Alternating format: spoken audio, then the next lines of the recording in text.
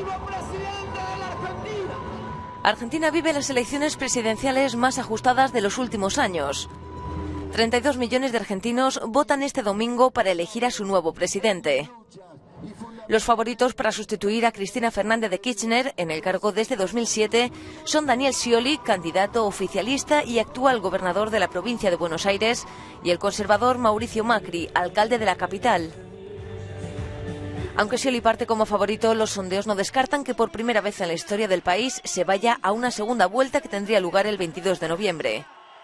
Esto ocurriría si ninguno de los candidatos alcanzara el 45% de los votos o el 40% con más de 10 puntos de ventaja.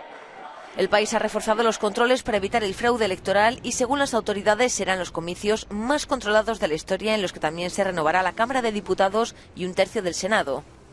Argentina decide hoy si es el momento de romper definitivamente con el kirchnerismo o apuesta por el cambio que supone el conservador Macri para ocupar la Casa Rosada.